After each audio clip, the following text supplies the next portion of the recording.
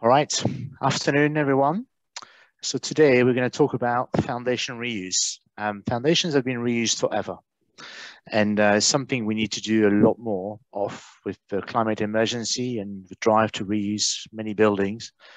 Not only does it require top-notch geotechnical skills, but also an innate understanding of logistics, constructability, risk management, and also insurance.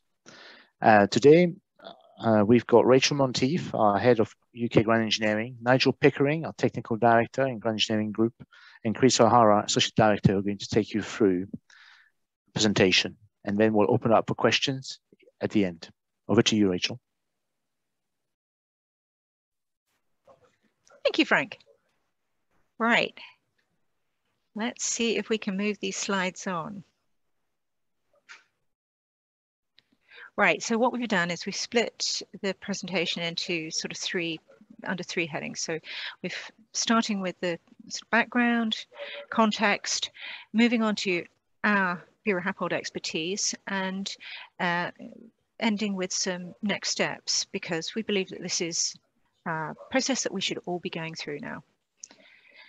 So the key principles, what I'm aiming to do is just sort of set the context for foundation reuse here. Um, why do we have foundations? Uh, obviously, the, the image on the left there is the bell tower at Pisa. And to my mind, this is one of the few successful geotechnical failures. Because the primary objective in providing foundations is to control settlement which we also refer to as a serviceability case. And the behavior of the foundations, the, the, the settlement response of the building is directly uh, related to the geology of the location of the, the structure, especially soils and water. So absolutely fundamental. And as Frank said, this is an idea that time has come, but it's actually always been um, the norm. Before the 20th century, reuse was what we did, what everybody did. In London, um, during the reign of Elizabeth I, it was mandated. New buildings had to be raised on old foundations. And churches, cathedrals, important buildings, anything before the 20th century tended to be raised on old foundations. So when St. Paul's burnt down, the new building was, the new, uh, the new magnificent new building was built on the original foundations. Not exactly square, but pretty much. More recently, we have been trying to push for reuse. There's good uh, guidance, there's good experience but it hasn't been as successful as we would like it to be. And maybe now we're moving forward. So what do we mean by foundation reuse? Well, the common assumption is it's a superstructure replacement. Um, but actually, probably the more common reason for, for um, reusing foundations is actually be, where we're changing the loads, where we're adding a story, where we're altering the building in some way and increasing the superstructure loads or amending them. And it's not uncommon where um, the loads being increased, where we'd have to augment or strengthen the foundations in order to, to deal with that excess overload. But it's all foundation reuse.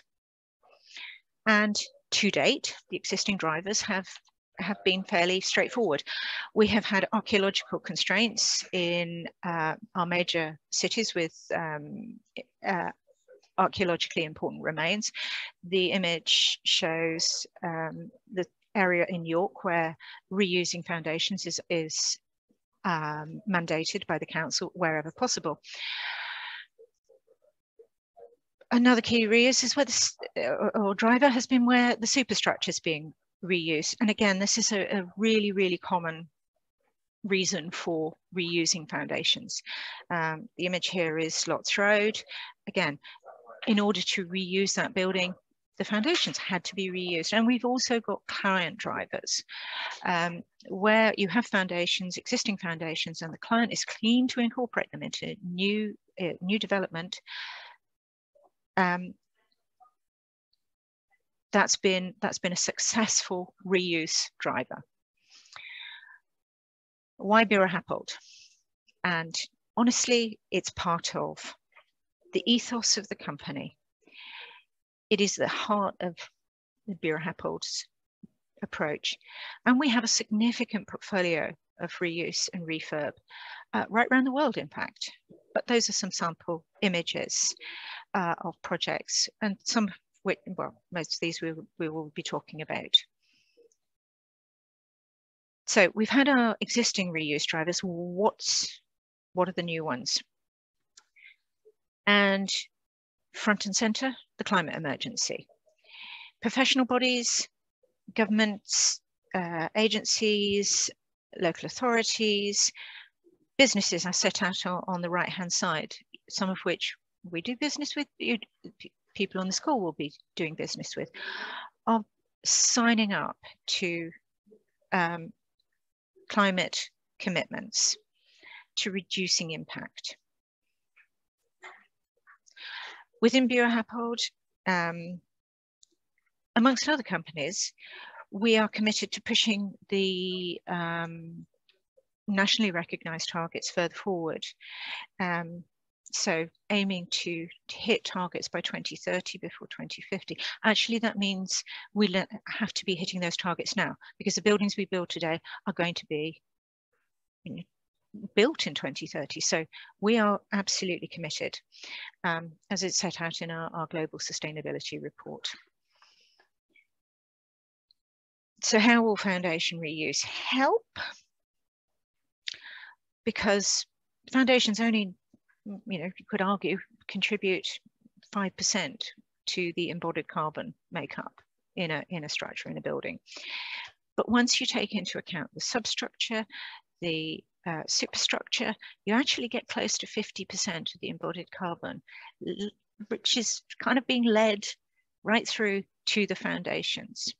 The other important consideration is whole life carbon. Most commercial buildings, indeed an awful lot of property, has a design or commercial life of 25 to 30 years before it's refurbished. Um, the this is actually quite important because actually that, that 25 to 30 years is longer than records are kept for, construction records, as built records. So it's a point I might want to come back to. But those foundations underneath the buildings will outlast the buildings by decades, centuries potentially. So there's a real opportunity here. Now, there's no question foundation reuse is viable. From a technical perspective, we have to confirm two aspects, really. The geotechnical principles and the material life of our existing foundation elements. And the principles that apply to both of these are broadly the same. We have to understand the current condition. We have to comply with relevant design codes we have to satisfy approving authorities in both cases. Um, the validation is slightly different. Uh, we can test um, uh, if we have the opportunity to, but we have to determine the load capacity and the likely performance, however we choose to do that. And obviously, when it comes to materials, we're looking at estimating the remaining service life. And there are established techniques for doing that. So all technically viable. At the same time, there are perceived risks. Um,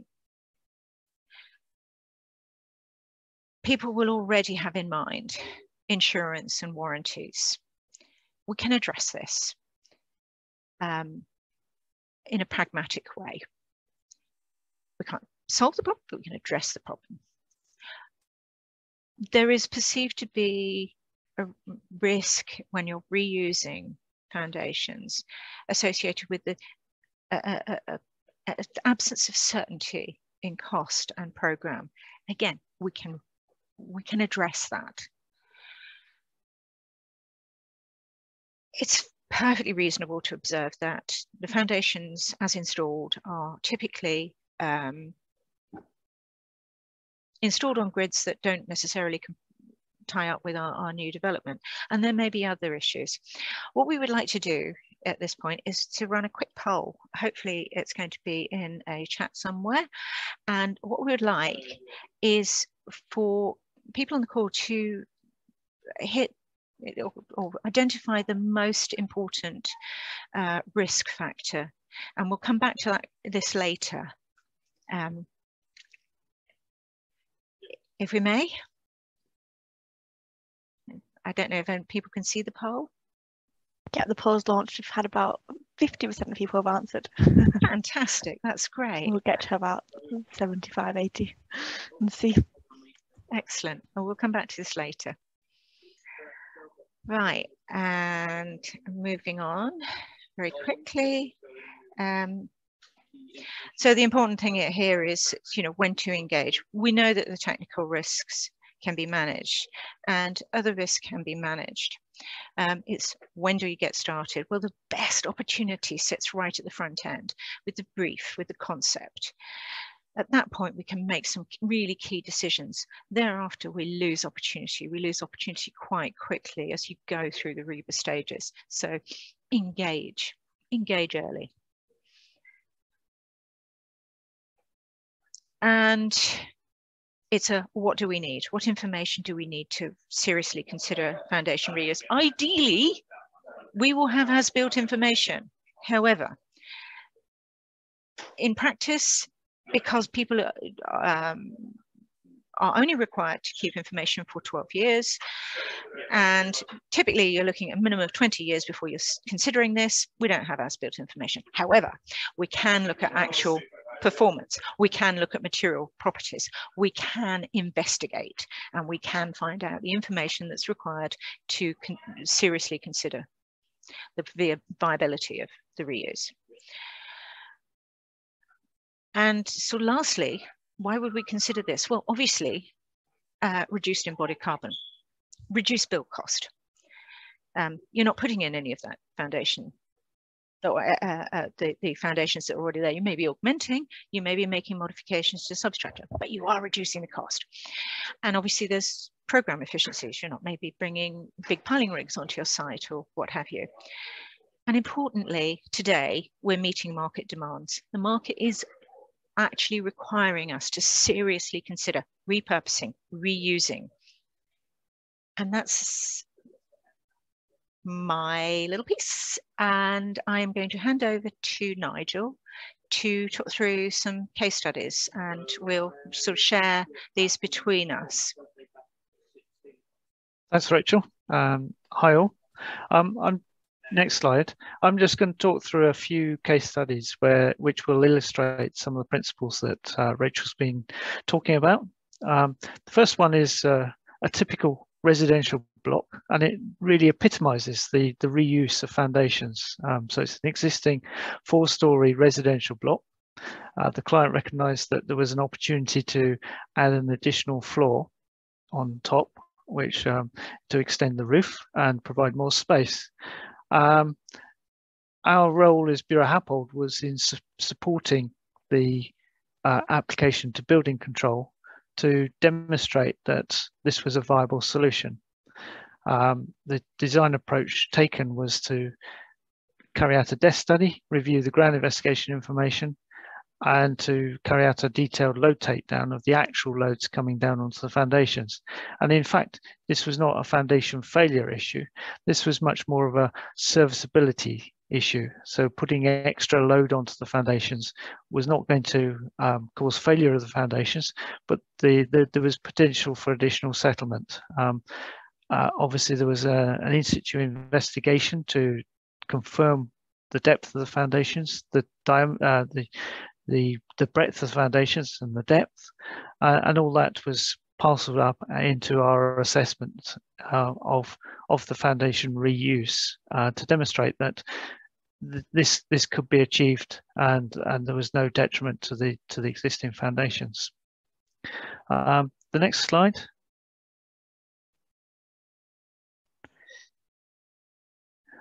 Next slide is Lots Road, which Rachel mentioned earlier on. This is, this is a power station built uh, around the turn of the last century. I went through sub, subsequent modifications in the 1960s, um, and it, it, was an obvious candidate for, for foundation reuse. It, it's a very complex array of foundations within the structure. Um, and our, our task was to try and identify which foundations could be re reused in terms of how they would fit in with the with the new proposed structure. Um, in order to do to demonstrate that with our structural colleagues, we uh, we compiled a, a, a, detailed model, which again looked at detailed load takedowns and looked at the response of the foundations. Um, the, the foundations were a mix of new piles installed in the 1960s and uh, mass mass gravity foundations installed at the original um, building of the of, of the power station. And again, this was a, a serviceability rather than a, a, an ultimate limit state, i.e., so we were looking at how how do the find how would the foundations perform under the new regime of loading, rather than a, a foundation failure situation. Um, next one. Uh, University of Portsmouth, this is a site just on the north side of Portsmouth. Uh, originally, the site was earmarked for a residential development. Um, the piles had been installed in 2010, 2011, um, and then this, the scheme was abandoned because of the financial crisis. Um, the University of Portsmouth building is a new academic building with teaching and research facilities. So although it's it's it's a, a lower building than the original residential would have been. The, the actual layout is significantly different. And uh, as you can see from the image on the left, there's significant transfer structures. So there are high, high concentrations of loads, which won't necessarily match with where the existing piles are. But pile re reuse was an obvious, obvious way forward. And uh, we worked hard to, to develop a model that again demonstrated that we could reuse a substantial portion of the, the, the existing piles. Um, next slide. Um, so key points uh, we, as you can see here, for this particular core uh, under one section of the building, we managed to use more than half of the existing piles. Um, it was not an easy task because the, the, the existing piles are obviously in place and don't necessarily match where the structural loads are coming down. But through the modelling um, that was undertaken, uh, we were able to demonstrate that uh, uh, supplementing with a number of new piles would make the, the scheme worthwhile. Um, there was a number of discussions over warranties and insurances because it was a relatively new job. Um, and the, the, the possibility of a warranty being assigned was discussed. Um, in in the end, it was uh, dealt with through insurances. Um, just as a note on verification and validation, we had reasonable as-built records and including some pile testing, but we knew the ground conditions were fairly complex, um, comprising Bracklesham beds.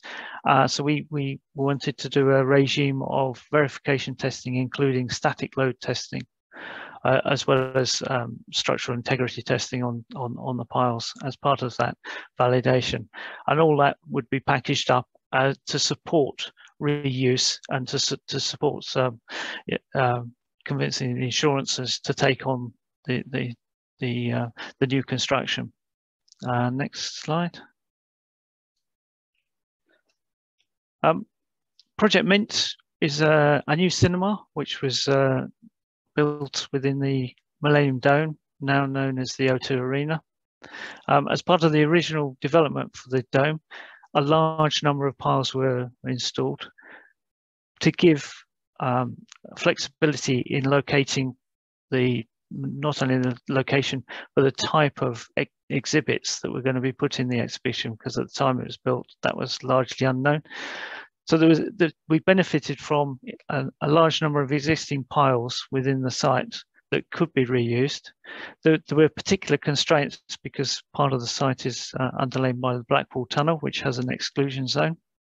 So I think the key message out of this, we, we managed to use more than 50% of the piles were reused, but it, it was a balance between knowing where the existing piles were, where your structural loads were coming down, and what substructure in terms of pile caps, transfer structures, uh, and trying to get that balance right between the desire of reusing as many piles as you can, but not compromising that through overcomplicated substructure, which would uh, cause uh, additional costs and program delays. Um, so as I say, in the in the end, we managed to use over 700 piles, which was more than 50% of of uh, of of the re piles were reused. Um, next slide. This this just uh, shows a before, during, and uh, uh, during after event. So we've got precast piles and driven cast in situ piles being installed, and just an illustration of the environmental considerations, which meant that you know driven driven piles was the obvious solution to to minimise any spoil um, uh, because of the ex existing contamination on the site. Um, the Olympics Stadium transformation. Well, the Olympic Stadium was built for the 2012 Games.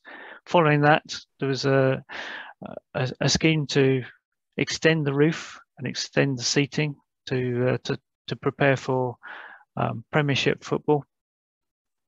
Buro Happold had been in, involved in the original scheme, um, but the extension of the roof created significant additional loading, particularly from wind and light, um, just the, the the the way in which the roof cantilevers over. There were significant additional loads which uh, exceeded the original um, foundation capacity. So the solution we came up with was to, to supplement existing pile caps, uh, illustration on the right there, um, with new piles, new mini piles because of access restrictions, and then tie the new piles to the to the existing piles. Um, next slide. Next slide. This slide just demonstrates or illustrates how that was done with the new new piles being broken down and then being keyed into the existing pile cap to support the uh, the V columns, which ultimately support the new roof. Um, and with that, I will hand over to Chris, who will take on some right. other case studies. Thanks, Nigel. Yeah, hi everybody. Um, the next case study we're going to talk through is the uh, the work we're doing at Manchester Airport.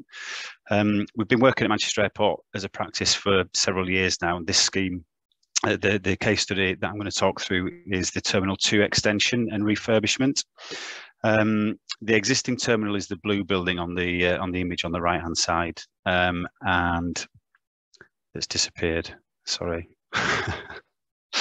um, and the there's an extension. Basically, Ma Manchester Airport Group wanted to uh, double the capacity at Terminal Two.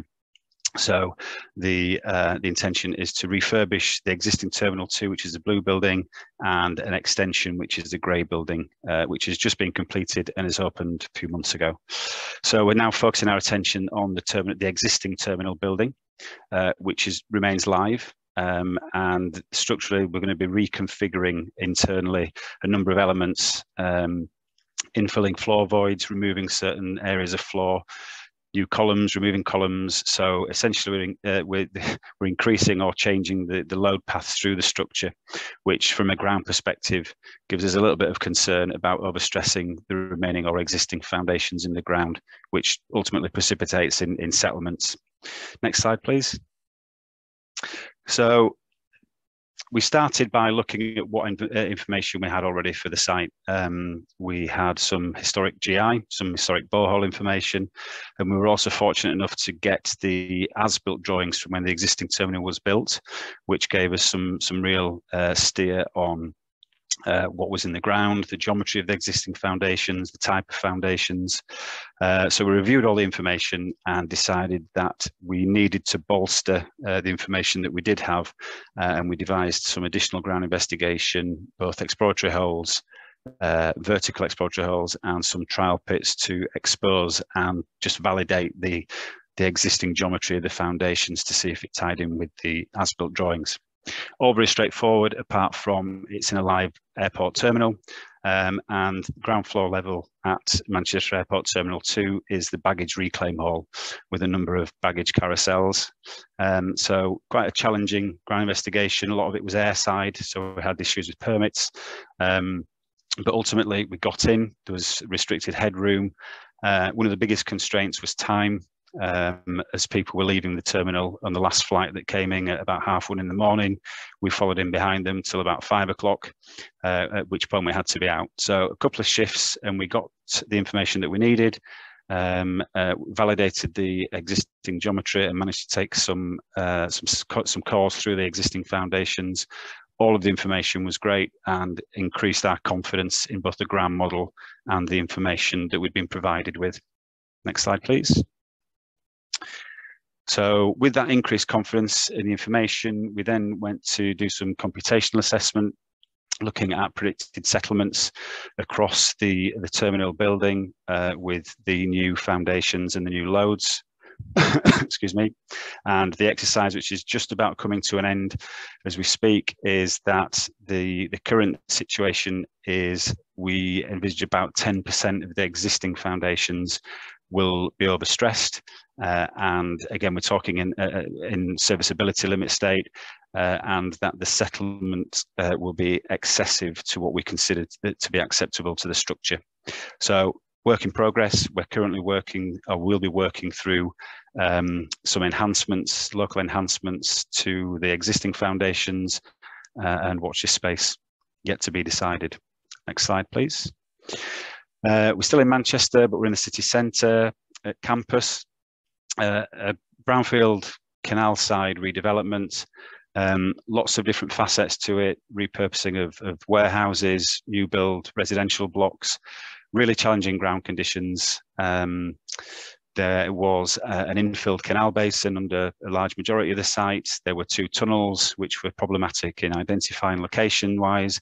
But what I want to talk about uh, on this scheme is the repurposing of the um, 1970s uh, it's been called a brutalist concrete tower block, um, which is the image on the left. So when we arrived, the, that's what the site or the, the building looked like. Uh, the client wanted to repurpose that building uh, from a university building into a residential development.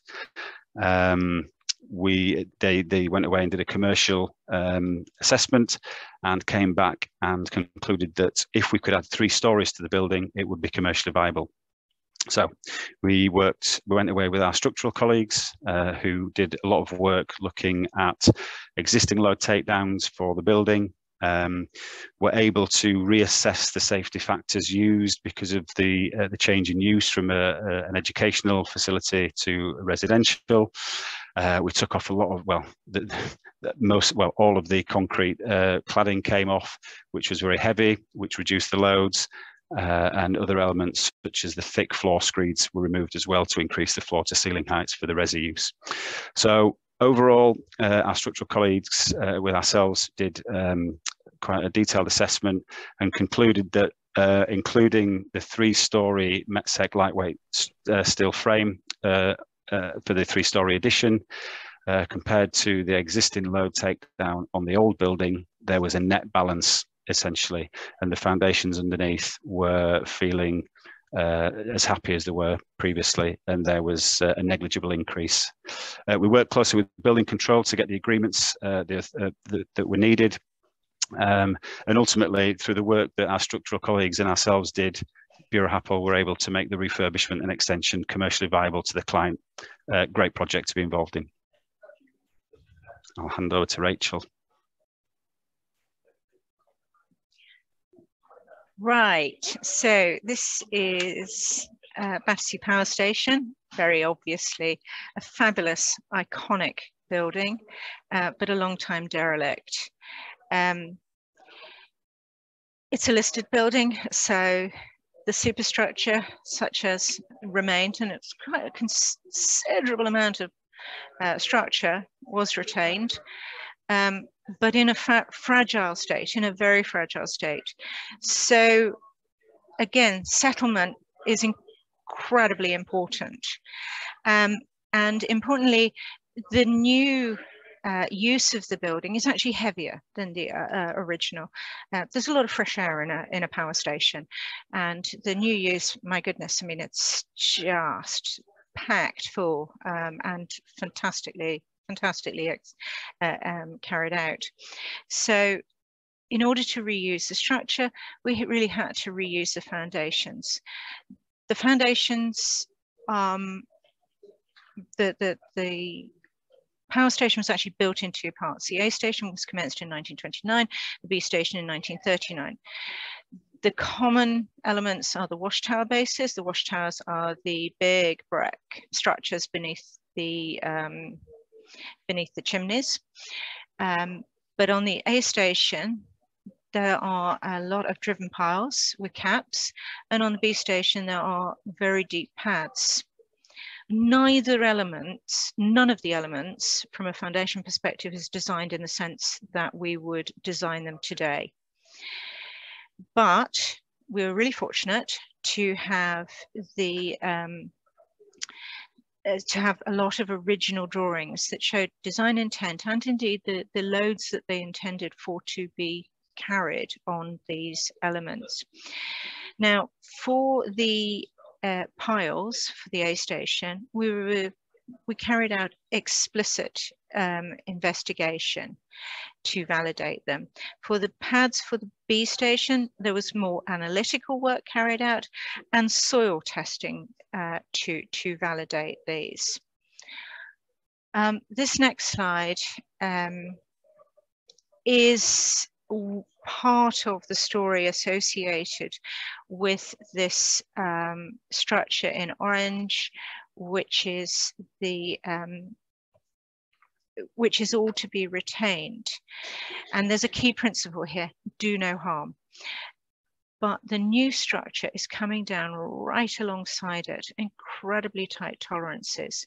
So it is has to be we have to carry this heavy structure down uh, and also we've compromised it, you know, cheerfully because you do, by excavating a basement alongside of the foundation element. Now this is a this is a, a broad scale uh, investigation, um, an analysis of what the impact of loading the ground through uh, the piles, through unloading, what the what impact it will have on that foundation. Um, it's a really good piece of engineering and there are many, many more analyses that go with this whole, um, these, these elements to demonstrate that we would do no harm, that there would be no movement and this structure would not, not be compromised. Um, when it comes to the, we're fortunate that we were able to specifically validate um, the piles we could carry out load testing across the site. We could demonstrate, uh, we could validate the lengths shown on the drawings through parallel focused parallel seismic investigation. We were actually able to test a number of piles to failure um, to determine the load capacity. And we're also in a position, because bear in mind, these piles are coming up to 100 years old. They have long since gone through their design life um, to demonstrate that the, the material that the piles are made of, the, the material the pads are made of, um, is good for uh, future life. Um, that is, none of this is doing uh, Battersea Power Station, the work on Battersea Power Station justice, but it, it's a, just whizzing through, we manage the residual risk through thorough investigation, through testing and validation, through um, geotechnical numerical analysis, basic soil mechanics evaluation, um, and of course instrumentation and monitoring. and through that, we were able to ensure that the structure was protected, that the planning authorities were satisfied, um, and the insurers were satisfied. And the finished, the, the finished work on the power station looks sensational. So, you know, hugely successful. No one will ever see the foundations again, but we know they're working. Um, right, that was a whistle stop through stop tour through a tiny proportion of our projects where foundations have been reused. Um, there are many more and there's much more information, but we don't really have the time. So I'm going to hand over to Chris to do to to to whiz through a next steps piece. Chris. Great, thanks, Rachel. So next steps. Um, the principles we've kind of touched on through all the case studies that we've just just run through. Um, but what needs to happen is a fundamental shift in mindset across the industry, uh, primarily around two aspects, and those being engagement and risk. Next slide, please, Rachel.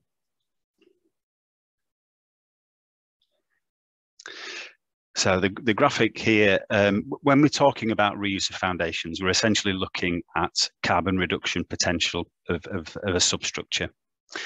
Uh, the graphic here, um, kind of similar to the graphic that Rachel showed a little bit earlier, looking at RIBA stages, but the, the key message here is engagement.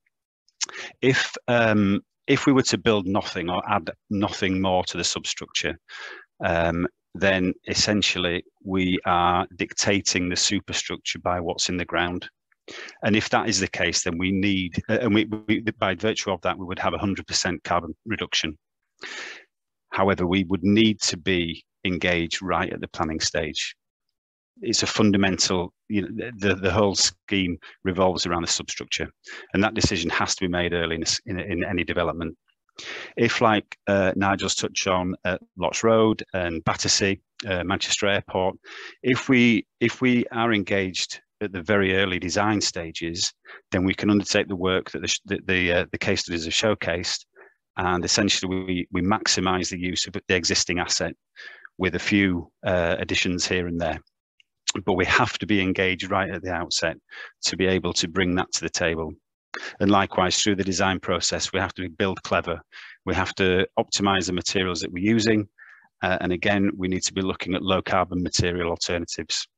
So key, key messages, early engagement, not just from the ground engineering team, but uh, as a collective around the table, uh, as a design team. As Buro Happold Ground Engineering, early engagement, we can identify and quantify risks and inversely any opportunities that we've got and ultimately manage the risk to, to, um, to, to gain confidence, build confidence. Sorry, next slide. Thanks, Rachel. Uh, so the second aspect, risk. Uh, is foundation reuse risky? Well, Maddie, have we got the results of the poll that we had earlier, please? And see what people's perceptions may be. Okay, so there's a reasonable spread, but there's there's a an out and out winner, which is unsurprising, of insurances and warranties. So, which completely agree. The risk profile, um, uh, you know, that's one of the key risks that needs to be addressed. When we look at the word or talk about the word risk, um, people often get scared. There, is a people's perception of risk is very different. Some people are very risk averse. Fight or flight mode kicks in. Too risky. Don't want to know. Well, as ground engineers, um, there's inherent risk in the ground. Uh, so we deal with risk every day, and risk isn't something to be to be shied away from. It's something to be understood and managed. Uh, and inversely, uh, and, and, the biggest uh, concern or risk is the insurance people or the, the warranties, and ultimately they deal in risk. That is their job. They they look at risk, they assess risk, and then they manage risk. So good good parallel crossover between ground engineers and insurance people looking at risk, there's there's three main um, aspects that need to be dealt with. We have to assess the risk.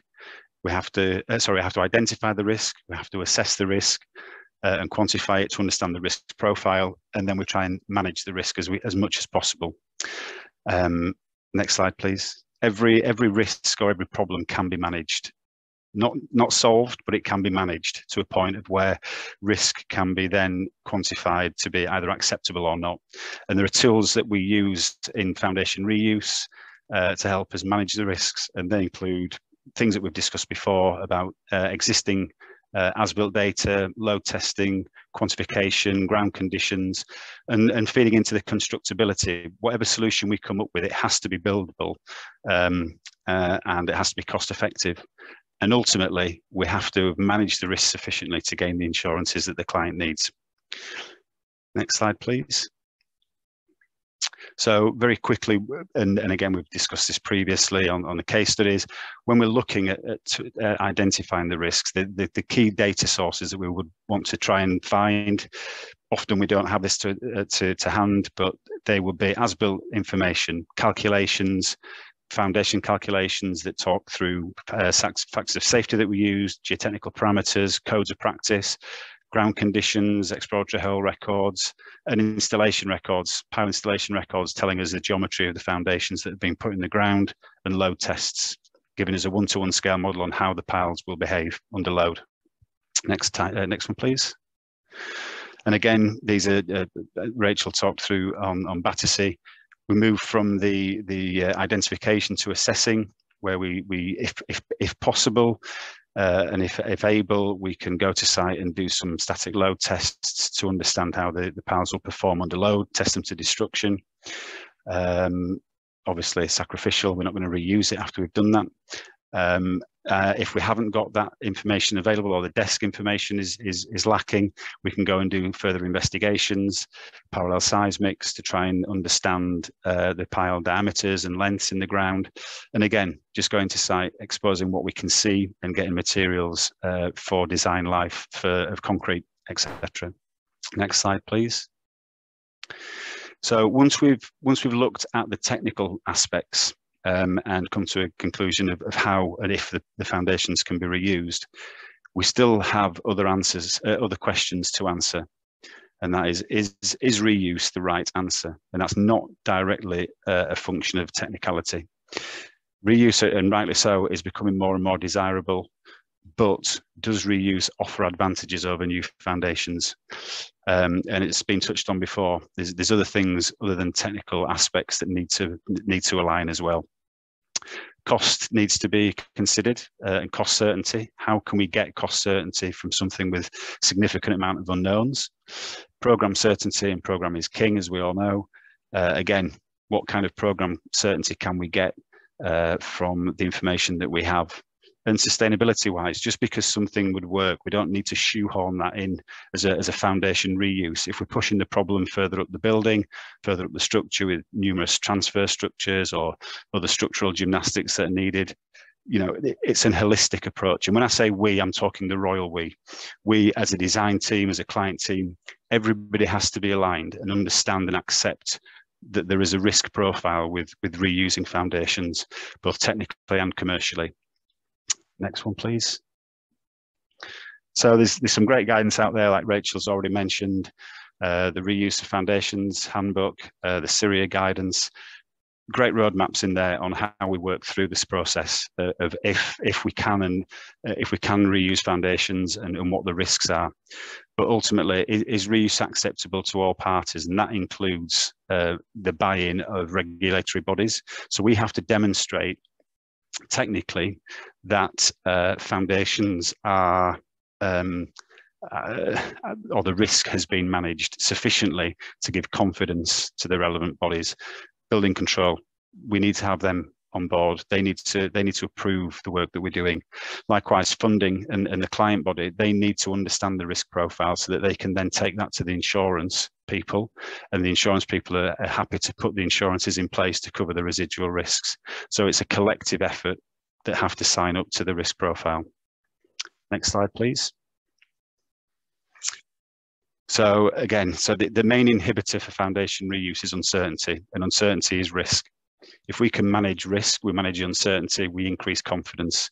And ultimately, as engineers, that's, that's what we need to be doing as a first part of this jigsaw puzzle. Once we, once we gain the confidence, we can come up with some great engineering, some bespoke design. Um, and, and, and as we've touched on before, the suitability of, of reuse is often performance based. It's not an ultimate limit state problem. The foundations aren't going to fail. The building's not going to fall over. It's how it performs, and that ultimately comes down to settlement. And we must remember that we're we're not using like for like. The foundations that we're repurposing have been designed for a different reason.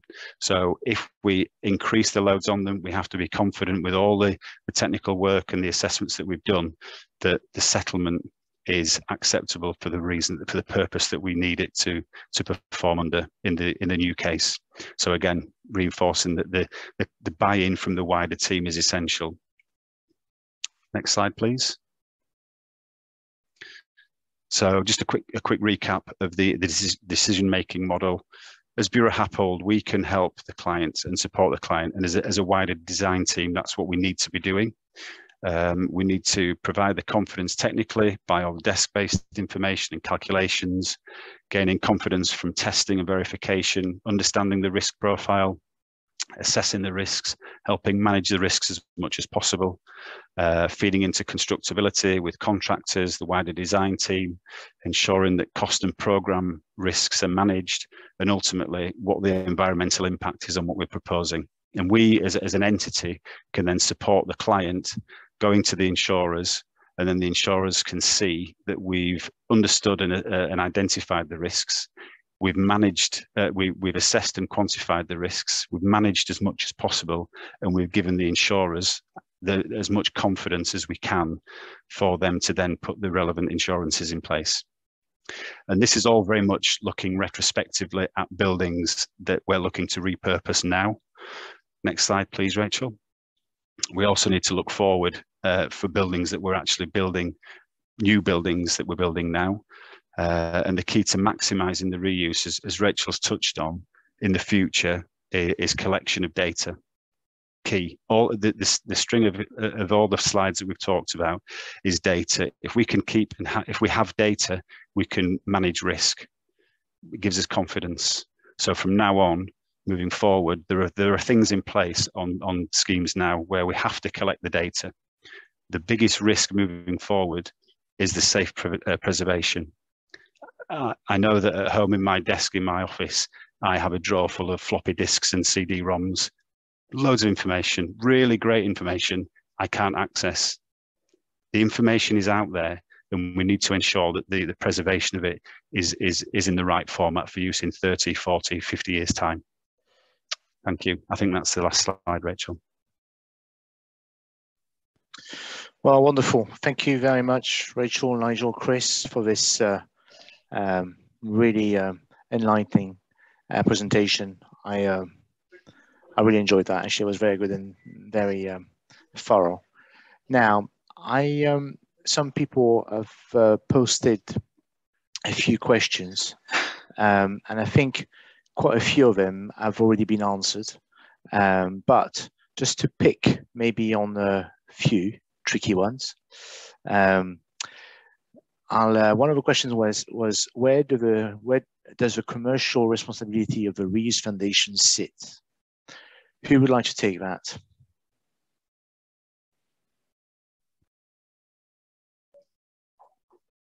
I think, well, I think you're very well placed to answer that, Frank. But, All right, thank uh, you, Rachel. I'll, I'll, I'll, I'll, I'll try and answer that then, if I may. Um, I think what uh, we've demonstrated today is that foundation reuse is possible. We can manage the risk, understand the risk, and to try and put it maybe in my own words and as simply as I can, we as structural and geotechnical engineers will satisfy ourselves that based on a set of assumptions, say if you were to reuse piles, so based on the assumed pile diameter and pile length, which we will verify and material test and etc. etc. as Rachel said. Based on all these assumptions, which are as best as we can verify, we will be happy and we are happy in recommending the reuse of this foundation and we'll say, yep, they will perform and we'll be able to take this additional load. However, there is a slight risk remaining, which is that we cannot test every square inch of concrete and test and measure the length of every part of the project.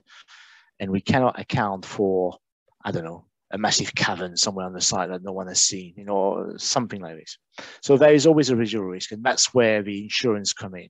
And that risk cannot sit with Buro Happold. We're not able to, to insure that because that's completely beyond our control. In fact, it's beyond anyone's control. And so that risk must, however small, and that's our job is to try and minimize, minimize that as much as we can. Um, that risk must remain client side and be taken on by the insurers. Rachel went through Battersea where um, we reused hundreds of uh, existing piles, overstressed many uh, uh, pad footings beyond what they were originally tested and, and uh, loaded at. And we managed to justify that and, and satisfy ourselves that it will be okay. And also, more importantly, manage to satisfy the insurance of our clients that this would be absolutely fine. Um, so I don't know if you want to add anything, uh, but I think I think the important thing is that we uh, what we really can what is really really important and it's point chris made um, and i think has actually i hope has come through uh, a number of these presentations ground engineering geotechnics um, focuses on managing risk every day that is what we do we don't have good data we don't have perfect data for the soils. We have reasonable data. And always what we're doing is we are managing managing risk. Um, so the word doesn't scare us. The word is merely a description of a concept that we need to address. So we will keep addressing it. And in doing this, we're providing good technical validation for success, um, for confidence to move forward. Thank you. I mean, one thing as well, there's a series of other questions which have been partly answered, like uh, um, uh, how do you, um, hang on, let me, um,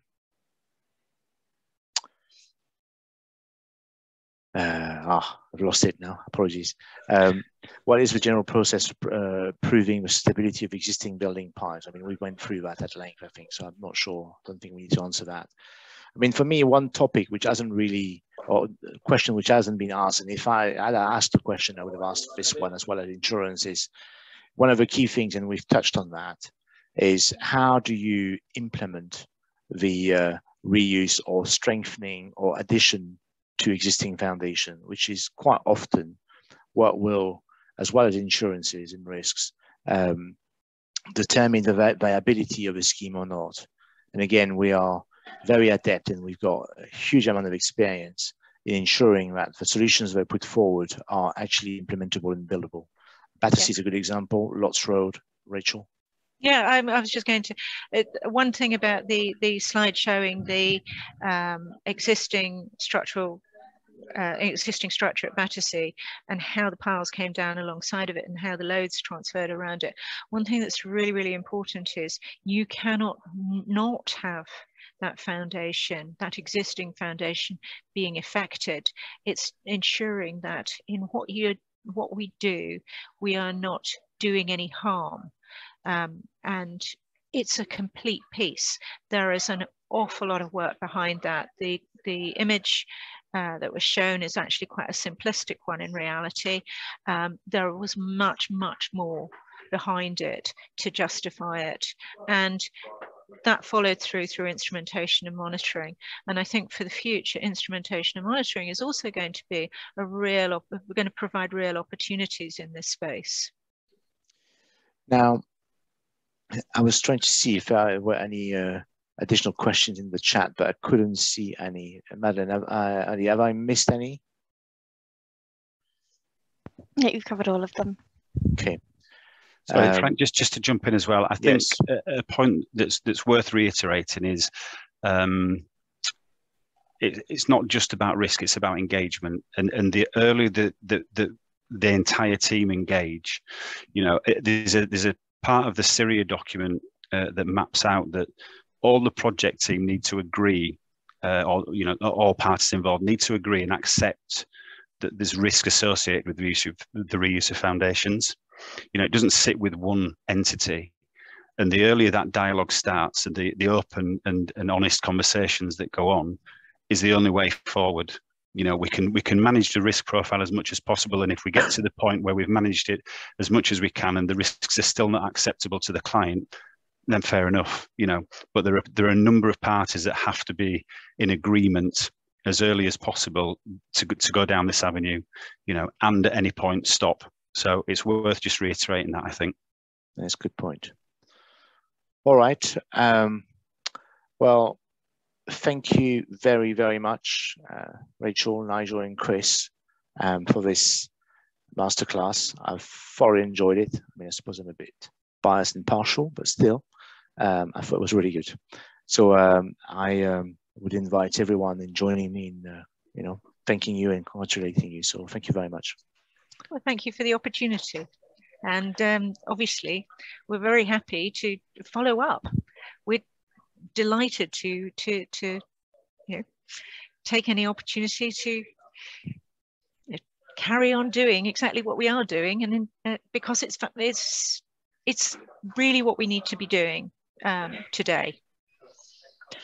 Thank you, and thank you to all the listeners who made the time to um, listen to what we had to say. Thank you very much for your time. Bye bye. Thanks, everyone. Bye bye. Thanks. Bye.